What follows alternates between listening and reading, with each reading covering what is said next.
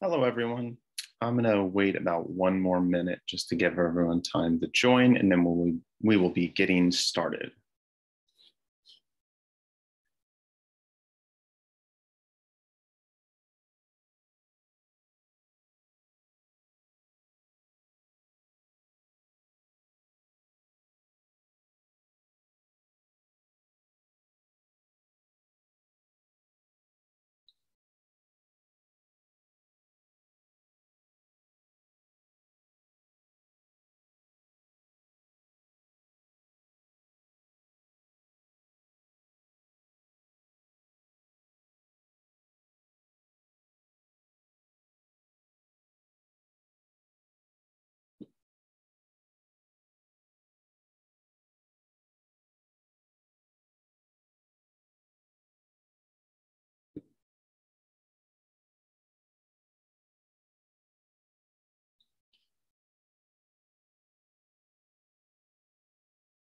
Okay, I'm going to go ahead and get started.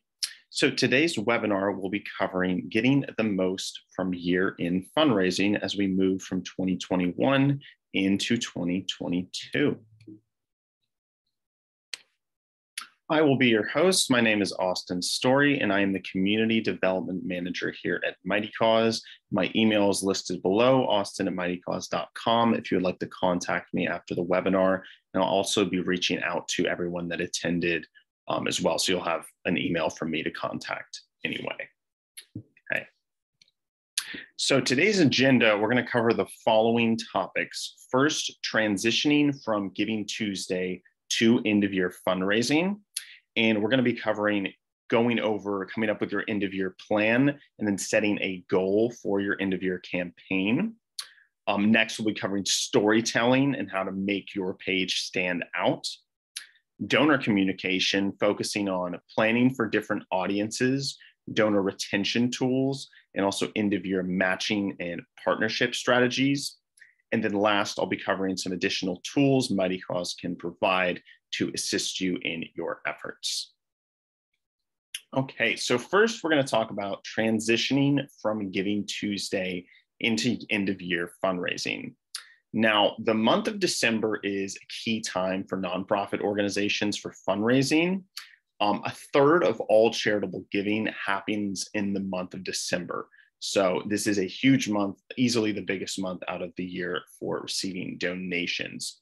Specifically, 12% is going to happen in the last three days of the year. So, that last week is going to be crucial. And I will be mentioning that last week a lot as we kind of continue here. Okay. So, first, we're going to be talking about creating your end of year plan and strategy for your campaign. So, there's a couple different ways you can go about this. But one thing to keep in mind is when you're coming up with your end of year campaign strategy, think back to what strategies were successful throughout the year. Now, this will be different for every organization, but really think about what campaigns you ran or any fundraising efforts you had and what specifically resonated with your donors. Maybe it was a specific campaign type. Um, maybe it was specific marketing content. Maybe social media was more active for you or email more marketing. But really think about what worked this year and lean on that as we move in the end of the year because you know better than anyone how your donors respond to your communications and your campaigns so, first factoring in what's most successful for you will be very important in the structure of your campaign. Now, there's kind of two common strategies for end of year campaigns, um, whether or not you participated in Giving Tuesday. So, one strategy is if you had a Giving Tuesday campaign, you could potentially just roll that over as your end of year campaign. And so, what I mean by this is instead of building an entire new campaign, if all your messaging is going to remain the same, you could just kind of edit the content on your Giving Tuesday campaign and continue to utilize that as the campaign for donors. Um, advantage to this is you have the same link same campaign page. You're just still going to want to edit kind of the branding to make sure they know you are transitioning into this end of year mode, but you can kind of keep that campaign and utilize it for your end of year fundraising. Now, another strategy would just be to build an entirely new separate campaign. Um, this also makes sense if you have an end of year campaign with a specific focus that differs from your Giving Tuesday campaign. So either strategy can work. Um, it's just two kind of different options for building out that end of year campaign. All right.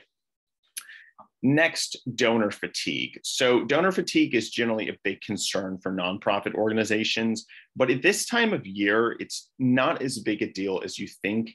It helps to separate Giving Tuesday and end of year fundraising in your mind because Giving Tuesday is not, it doesn't cannibalize year end giving. So, donors giving on Giving Tuesday does not remove them from your end of year fundraising. Really what it is is that's a additional donation they're giving your organization. So most donors are not looking at giving tuesday as their end of year gift.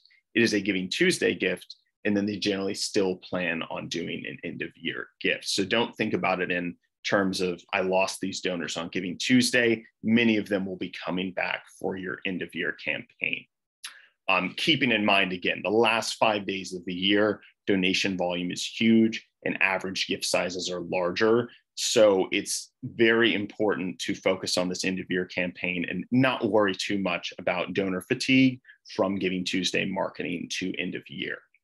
Um, these two fundraising periods really just kind of work together to increase charitable gifts to organizations overall. And you want to maximize this time because this is when more people are giving than any other part of the year. Okay.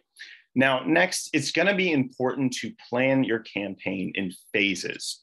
So, the first phase is going to be post Giving Tuesday launch.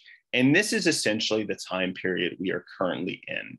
So, this is where you're going to want to devise your strategy, create your campaign, start creating your marketing, and reintroducing your kind of campaign focus to donors. Now, once again, I mentioned the two strategies where you could continue a Giving Tuesday campaign or create a new one, but you're going to introduce what you're trying to do in this end of year time. This could mean adjusting language and marketing materials as you transition out of Giving Tuesday. Um, and this may mean setting new goals as well. So if you're utilizing an old Giving Tuesday campaign, you may want to set a new goal focused on end of year. And obviously, if you're building a new page, you will also be setting a new goal as well. Um, and towards your year end goal, the goal gradient effect will kick in. And this, what that effect is, is as you get closer to your goal, donors are more motivated to donate because they want to be the ones to push you over the finish line. So that's also why it's important to set attainable goals, um, which I'll definitely be focusing on in a moment when I talk about the goal section as well right? So that is the first phase, which we're currently in, which is really just kind of strategizing, figuring out your plan, and creating content. Now, phase two will be starting shortly and probably get started in the next week or so. This is going to be donor engagement. So, this is going to be following up with and thanking Giving Tuesday donors um, and just donors that have donated this year and doing personal outreach to key groups of donors. If you have any large donors or key donors, this is the time to reach out to them, thank them for everything they've done this year, and also obviously make an ask for end of year donations. Now, there may be a slump during this donor engagement phase, and that's fairly common. The middle of December is not generally the most active time. It really starts to pick up towards the end. So, this donor engagement period is key for engaging individuals and bringing them in the loop of what your organization is doing as you move into that year end fundraising. So, they're very aware of what is going on. Now, phase three is going to be the final week of the year. And there's no other way to describe it other than go time. So, this is when you're going to pull out all the stops, do all of your marketing efforts, everything on social media, save your best stuff for last, and really communicate with them and get them to understand why your organization needs a donation. Um, also, generally speaking, statistics are usually not huge draw for donors except at year end. So it's going to be very important you start calculating all the stuff you've done this year and really communicate that to donors. Everything you've accomplished, this is your time to share and also thank them and let them know what their donations have done for your organization. Um, so, yes, once again, giving is going to spike that last week of the year. So, don't be afraid to make a strong push. This is the time to do it.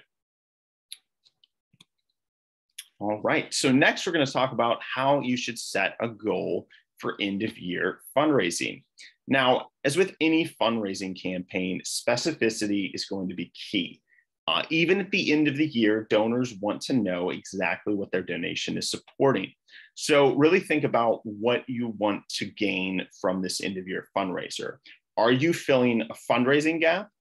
Are you looking to kick off a new program in the next year or uh, potentially open a new location? These are going to be important questions to ask because you want to communicate with donors what this year end push is all about. Um, and it's going to be important to communicate not just the financial goal, but that goal of what you're trying to accomplish. And it's going to be very it's it's a tricky thing but you really want to balance between what you think is attainable based on your donation uh, your donor base and what your organization actually needs so really trying to kind of figure that out because you want a goal you can reach but you do also want to kind of shoot high because everyone knows you need x amount to, to accomplish what you're going to try and accomplish with this end of year fundraiser. Um, once again, you're going to really want to align that goal with your organization. So, thinking about all of your goals for the next year. Um, maybe it's not as specific as opening in a location. Maybe you have kind of longer term goals. Either way, you're really making sure that is very, very clear to donors because they're going to want to know what their donation is doing specifically for your organization. Now, last, when setting this goal, it's going to be important to brand your page, use visual cues to indicate transition. And what I mean by that is, you know, you should not be using Giving Tuesday marketing in December. You should have new end of year marketing. So having new content that's very, very targeted to this time of year and making that shift feel natural so donors know, okay, we're moving into giving uh, end of year mode from Giving Tuesday. And then once again, just let donors know the impact they make. So make that clear on your page. Definitely give a shout out to everyone what you've accomplished this year and how they made it all possible because without them uh, you know nothing really gets done. They're the ones that kind of fund all the great stuff that your organizations are accomplishing. Okay. Next we're going to talk about telling a story with your fundraiser. Now a month isn't that long in fundraising time, but this month you're still going to need a lot of content to, sustain your organization's marketing efforts. And you're going to kind of pull back on everything throughout the year. So, this means stories, testimonials, photos, videos, infographics, pretty much anything you can pull that you think is going to be useful for marketing. You're going to want to use it all now. This is the time. Um, so telling a personal story as well, and that kind of goes to what I was just talking about. So this is the time of year to really let donors know what impact your organization has. So if you have any quotes from individuals you've helped, testimonials, photos, videos, a great thing that I think is a, a really good idea is if you can make a video that's kind of a montage of everything you've done this year, that really speaks to individuals the impact that your organization has. Um, so just trying to pull everything you can and really using content that directly corresponds with what your organization has accomplished is going to be very important for this time of year. Um, also, just doing a recap. So at the beginning of 2021, think back. What were you trying to do? What were your accomplishments this year? And what goals did you meet? Also, you could also point out what goals you had that maybe were not met and how you're going to focus on those in 2022. So, kind of laying out how you met your roadmap in 2021 and also focusing on what your roadmap is for 2022. But just focus on that storytelling aspect because that's really what's going to resonate with people is understanding what your organization did this year and what you're planning on doing moving forward. Um, next, and this is something I'm going to mention probably over and over, is keep messaging consistent. You really want a clear message that resonates across all your marketing content. So having a key tagline you're using over and over and a key call to action is going to be very important, just so it's very, very clear what the goal is for your fundraiser this year. Um, as I mentioned, repetition is going to be very, very clear, uh, key. Okay. Next, how to make your page shine. So this is just talking about what the content should look like. So first, you'll want a strong cover photo or video, either one you're using, but it needs to grab attention and evoke emotion. So this is not the type of campaign where you just want to put your organization logo um, as your kind of banner image. You really want to use something that that speaks to people. So any of the kind of photos I talked about from efforts you've accomplished this year, photos of your organization in action. That's kind of what we're talking about here. It's something that's very, very kind of eye catching and really draws people into the page.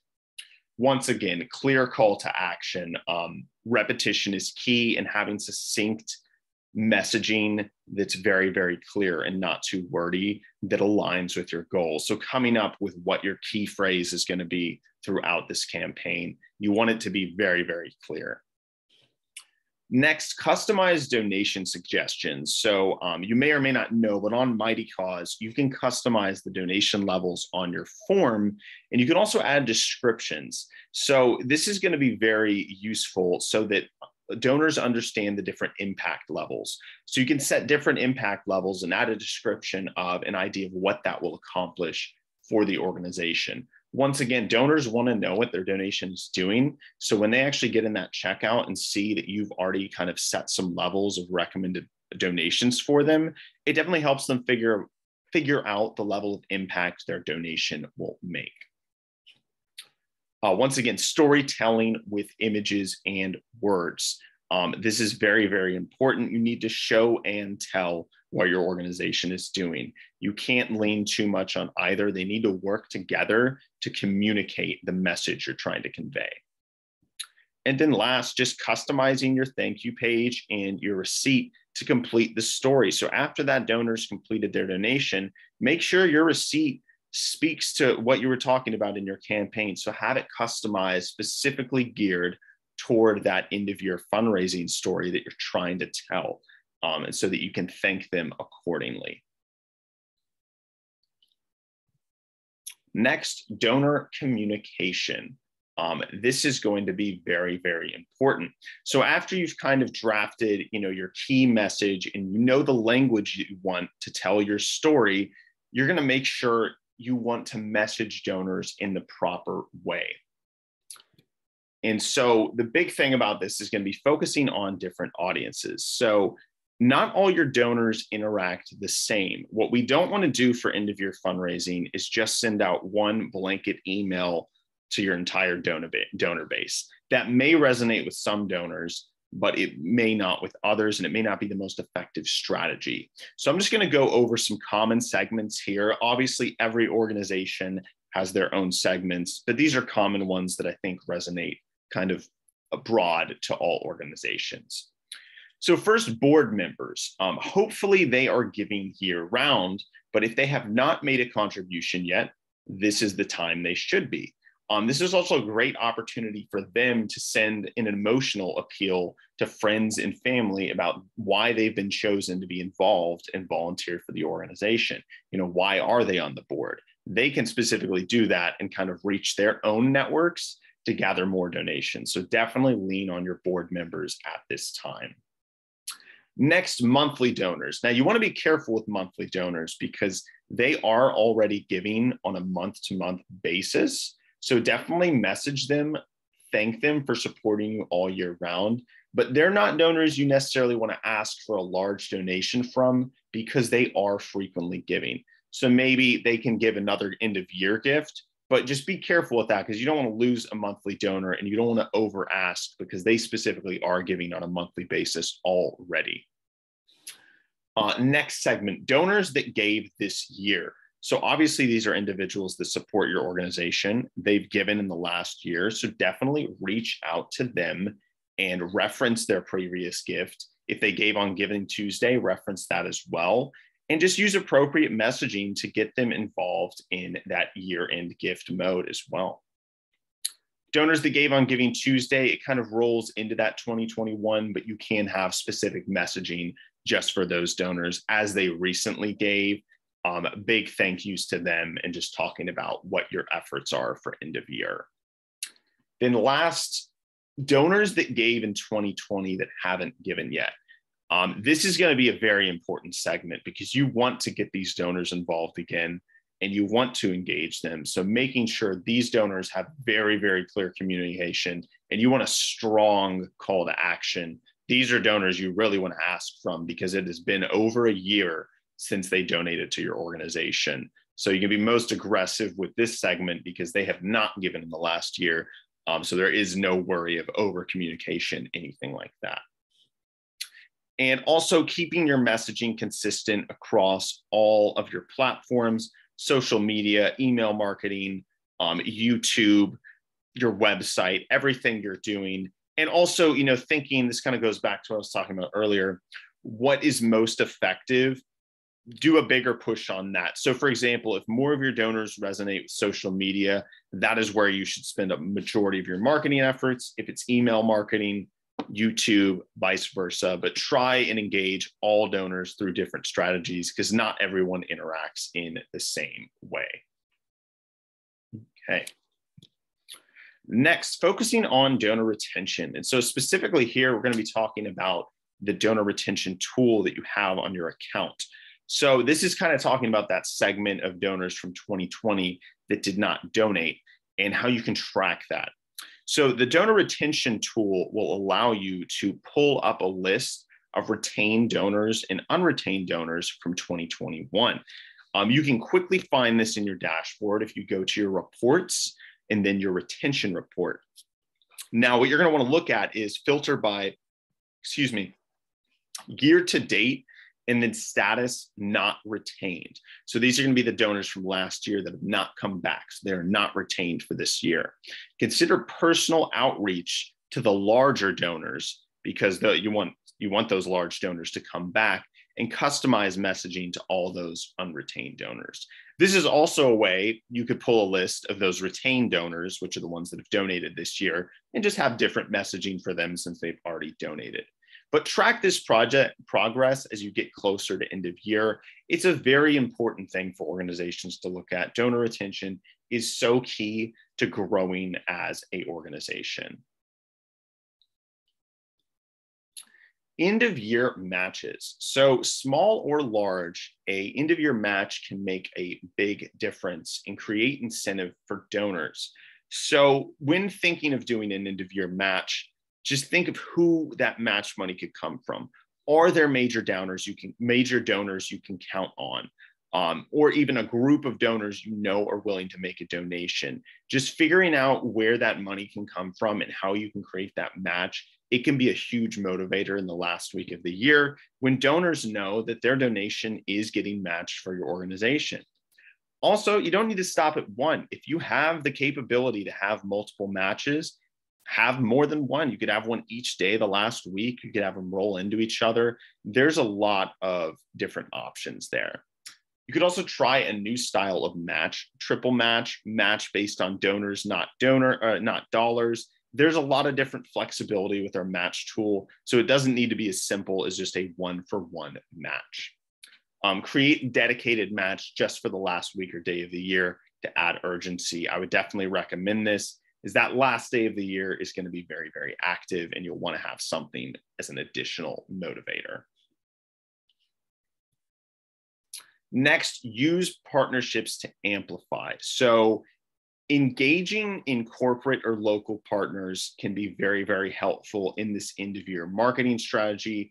Um, and if you have any relationships with organizations, definitely lean on those, communicate with them, maybe you're running an event. Maybe they can be a sponsor. There's a lot of different things you can do but i would communicate with them sooner rather than later so you can coordinate how they can assist you with this end of year fundraising.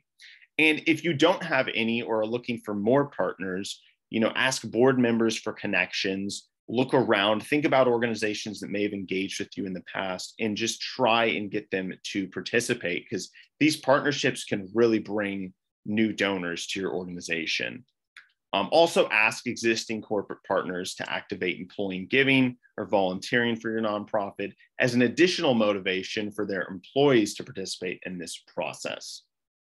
Also, radio is a great way to reach a wide audience. So if you can uh, get a radio spot, that's also a great time. Or it is a great time to do that as well and kind of reach donors through that method.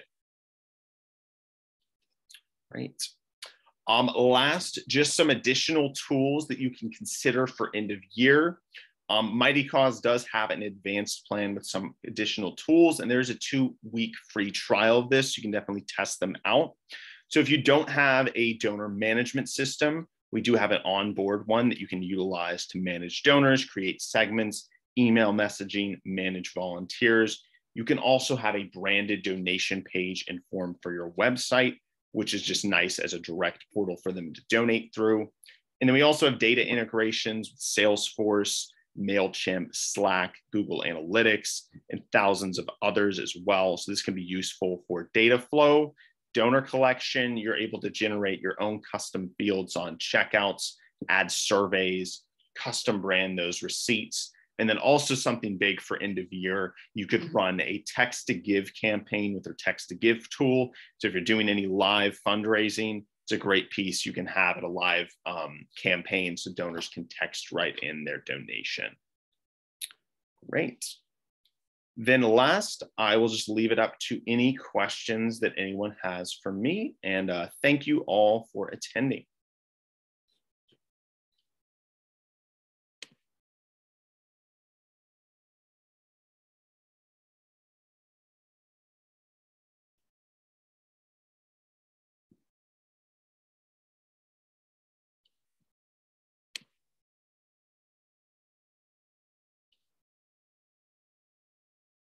Anytime, guys. Thank you as well. Yes, registrants can obtain a recording. Um, you should get a recording of this following the, the webinar.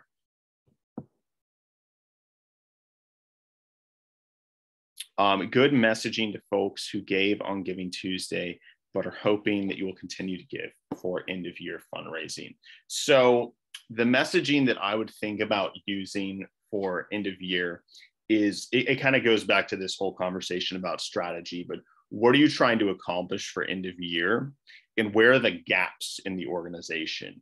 So definitely, you know, thanking them for giving Tuesday, but just kind of letting them know what you need for end of year and what you're going to do with it as well. Um, but basically just kind of communicating with them your year end goals and how those are separate from Giving Tuesday as well.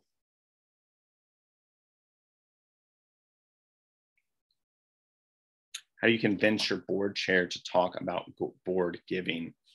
So, board members can be hard to engage, but it is end of year, and this is kind of the biggest time for donations. So, I would just communicate with them that all the board members should be a part of this process. Um, there's a reason they're a part of your organization. So just kind of try and communicate with them that you need their support at this time because having the board involved is very, very helpful, um, especially if they can donate and also if their family can donate because there's a reason they're a part of the organization so they should be you know participating in the donation um, arena as well. Okay, for those of us that are just born.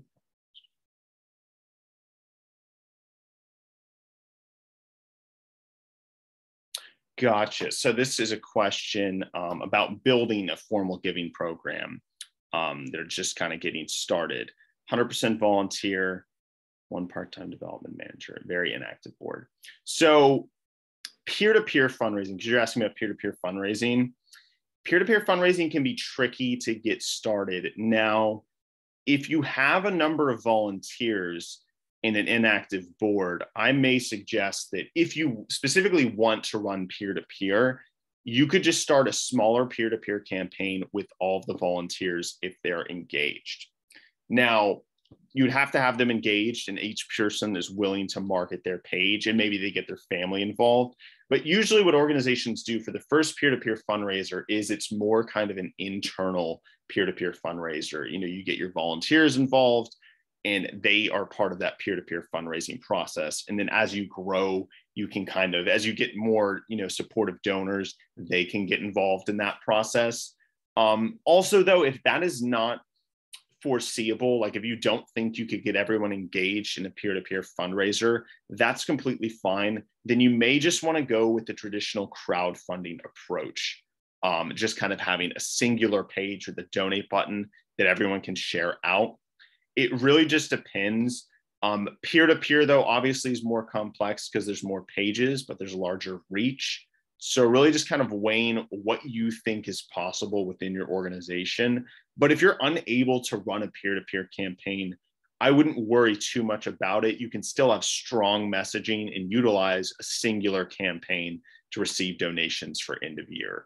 Um, both strategies are successful and peer to peer is an important thing, but it can take longer to kind of get that growth where you know you have individuals willing to participate in that peer to peer process.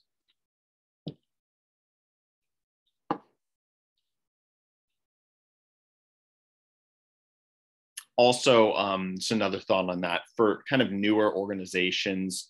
Um, you know, obviously, when you're trying to grow a donor base, a base, donors are important but also just getting eyes on your organization. And I think that's one of the big values of peer to peer as well is that, you know, maybe not everyone that sees the campaign is in a position to donate or can donate now, but growing awareness and just getting engagement from new individuals, even if it's not in the form of a donation, that's what's going to lay the groundwork for a strong donor base over time is engagement overall and engagement doesn't mean just individuals donating. If they're engaging with the posts you're making, with the content you're putting out, that can still be considered a win, even if it doesn't result in a donation initially. Okay, another question. Let me read this one.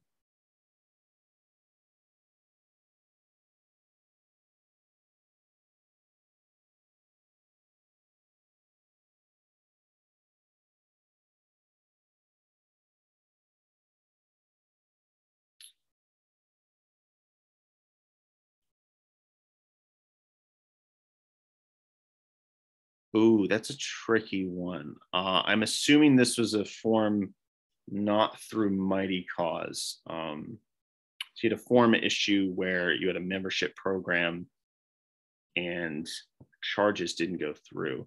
So just so I understand, I'm assuming none of these actually, these individuals actually um, gained membership. I would I would reach out to them and just kind of let them know that you're sorry the process didn't actually go through. Um, and if they're still interested, you now have a portal for it.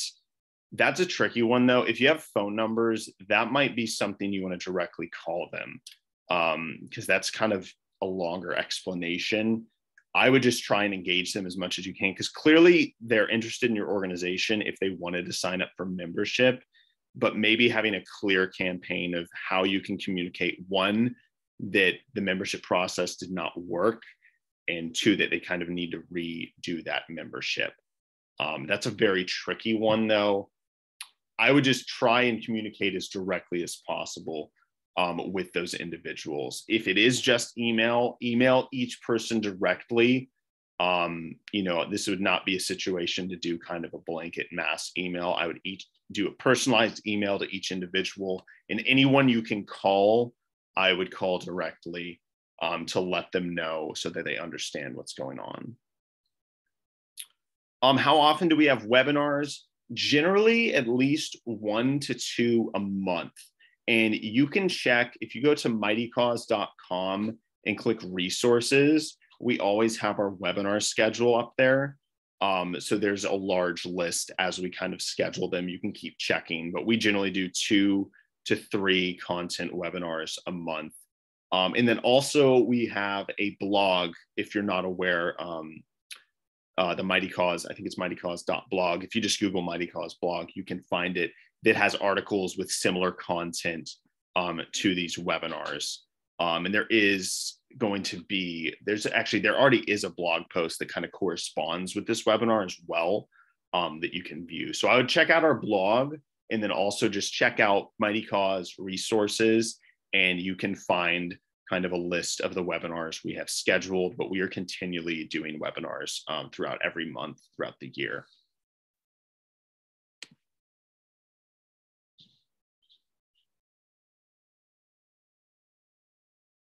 Uh, do you have a recommendation on how frequently to email people, post your social in your end of year campaign? Um, I'll start with social media because that's a, a, bit easier. Um, social media is going to be daily. Uh, the reason why, I'm sure many of you are familiar with Facebook, Instagram, um, kind of the traditional social media platforms, Twitter. If you make a post on a social media platform, it is going to quickly get buried by other posts that users have. So, at the very least, I would say daily. Um, depending on what your capabilities are, you may want to make multiple posts throughout the day. Um, I also know there's ways you can kind of schedule posts on social media. So you wouldn't necessarily have to sit there and wait and release a new one. You could kind of schedule them maybe like on a maybe three a day at specific uh, times when there's high traffic on social media. Um, but I've, social media would be a daily thing. And especially that last week, I would be bombard, bombarding content on social media to make sure everyone who's engaged with you sees that you are currently running a campaign. Um, email marketing, at least weekly, though. This is end of year. I would do it pretty frequently. Um, but once again, you're going to want to change it up each time. You know, don't just send the same message over and over. Kind of think of a strategy for messaging, you know, right now through maybe the next two weeks, like kind of the mid middle December, like softer messaging there, and then really, really engage hard the last week. I would send most of your emails in that last week or kind of ramp up how often you're sending them. Uh, but twice a week could be a good reference. Um, you could obviously go more or less than that. It does also depend on your donor base, how engagement works with email.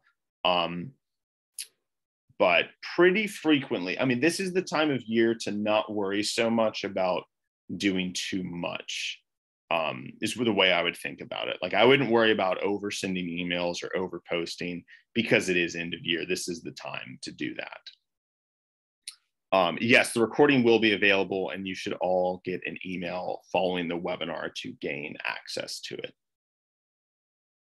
Um, and everyone will also get an email from me as well. So if you have any questions um, about the platform or about anything I talked about, you'll have a direct message from me you can reply to as well.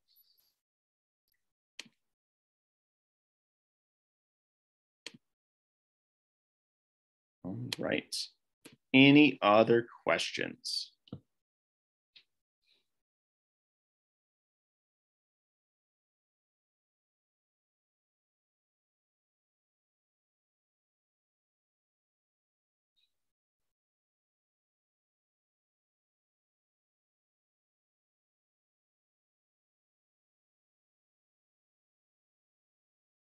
All right. Well, if there's no other questions, I'm going to go ahead and wrap up the webinar. But thank you all so much for attending. Um, and thank you to everyone who asked questions. I know um, a lot of these questions may have been similar questions for other organizations. So it's useful. This is useful information for everyone to hear. Once again, you'll get an email um, from me as well following the webinar. Um, so we can definitely correspond that way. Um, oh, Jenny, did you have a question?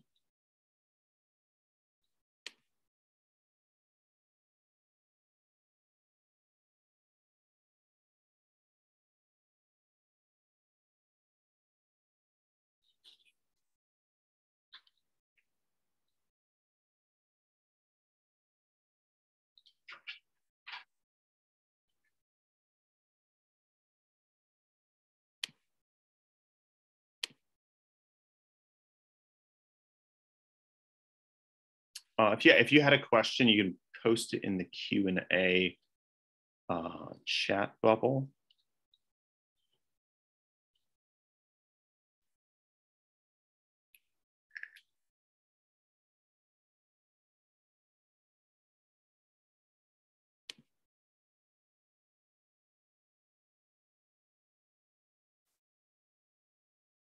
Oh, is it in? Oh, okay. This isn't regular chat. Um, Uh, we don't have a lot of engaging images. Where could we get more? Um, I would definitely create some um, for end of year. Now, this may mean just kind of taking pictures of individuals at the organization. Um, if you don't have any images of kind of like activities you're participating in, just get pictures of you guys, you know, working um, at the organization, having faces to the organization um, is that's still a connection so that when a donor looks at it they know okay these are actually people you know working at an organization. Um, you could also take a picture of any of your facilities anything like that. Um, but i would create your own content as much as you can um, and just try and get you know sharp pictures that look really really clean. A common one too for kind of those um, kind of main pictures for uh, on, a, on a campaign is maybe just get a picture, a group picture of everyone in the organization smiling, um, something like that.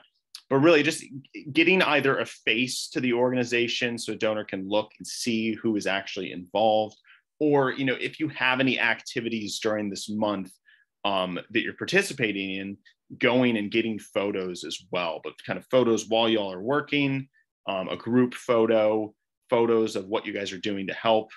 Um, very, very crucial things for engaging uh, engaging donors. So if you don't have any now, that's that's no problem. I would just try and get the ball rolling on creating some of that. And then another thing organizations do, I kind of mentioned, you know, if you had a bunch of content, you could do an of year montage, but you could also just do a video where, you know, maybe the director or anyone from the organization talks about what you guys accomplished accomplished this year, what your goals are as an organization, what you're looking to do in 2021.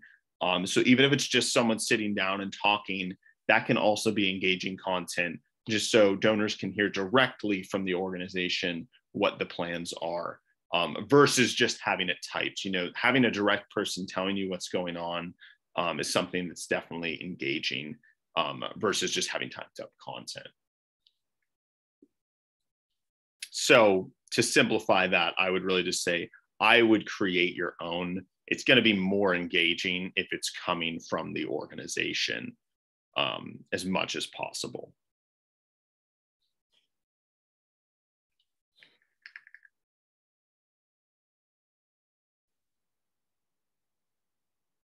Other questions? Just want to make sure I don't miss anyone.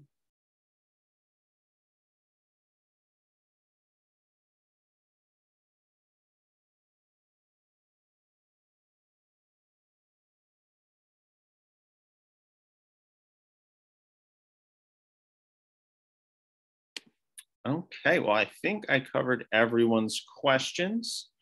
Anything else comes up, you can just shoot me an email directly. Um, if you're not as familiar with the platform, I don't know if everyone participated in Giving Tuesday as well. I'm happy to kind of set up a time to discuss um, the platform and how it can assist as well. So you guys will all be getting an email from we, me, and we can correspond that way too. If any questions come up that maybe you didn't think of during the webinar, feel free to give me a shout. Happy to assist. But already, I'm going to go ahead and wrap up. So thank you all so much for your time and uh, good luck with your end of year campaigns. I hope everyone is super successful. Alrighty.